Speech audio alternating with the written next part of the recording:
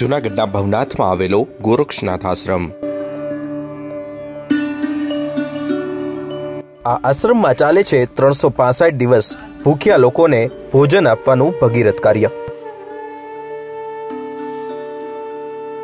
ફક્ત મહાશિવરાત્રિના મેળા પૂરતું જ નહીં, પરંતુ અહીં ત્રણસો દિવસ દરેક લોકોને ભોજન આપવાનું ભગીરથ કાર્ય શરૂ છે. આ તમે જે શાકભાજી સહિતની વસ્તુઓ જોઈ રહ્યા છો, તે કોઈ મોટી હોટેલ કે શાકભાજી શોરૂમની વસ્તુ નથી, પરંતુ આ વસ્તુઓ છે જૂનાગઢના ગોરક્ષનાથ આશ્રમના રસોડાની. અહીં ચોખા, ઘીના મોહનથાળ સાથે ગરમા ગરમ વસ્તુઓ અહીં આવતા ભક્તોને પીરસવામાં આવે છે. અને ફક્ત એક કે બે દિવસ પૂરતું નહીં, પરંતુ ત્રણસો દિવસ આ પ્રકારે રસોડું ચલાવવામાં આવે છે. અને તે પણ કોઈ પણ પ્રકારના રૂપિયા લીધા વગરના. અહીં જે ગોરક્ષનાથ આશ્રમના મહંત છે, સેનનાથ બાપુ દ્વારા આ તમામ તૈયારીઓ છે, તેનો વિશેષ કાળજી લેવામાં આવે છે. અહીં આવતા તમામ સંતોને સેનનાથ બાપુ પોતે ભોજન પીરસે છે અને જમાડે છે. અહીં કોઈ પણ આવેલું સંત પણ ખાલી હાથે જતું નથી. તેમને જમાડી અને પ્રસાદી અચૂકપણે આપવામાં આવે છે.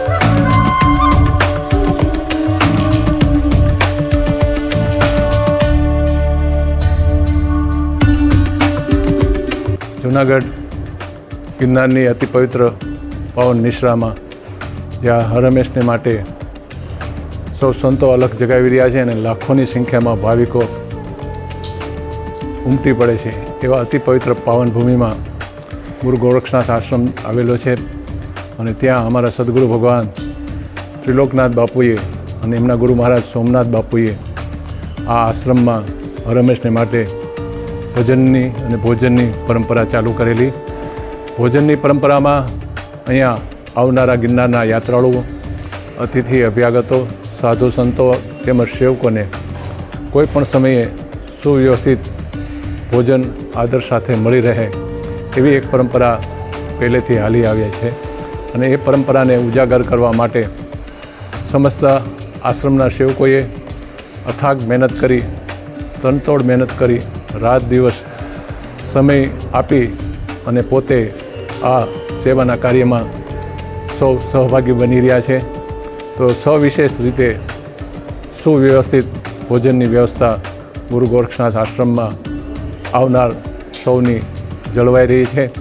આવો ગિરનાર ક્ષેત્રમાં કોઈપણ દિવસોમાં ગમે ત્યારે ગુરુ ગોરક્ષનાથ આશ્રમમાં વિવેકથી અને મર્યાદાથી આવેલા લોકોને જે કે વ્યસન ન હોય, જ્યાં ત્યાં માવો ખાઈ અને જો ભોજન લેવા આવે તો પણ સંતોને ગમતું નથી.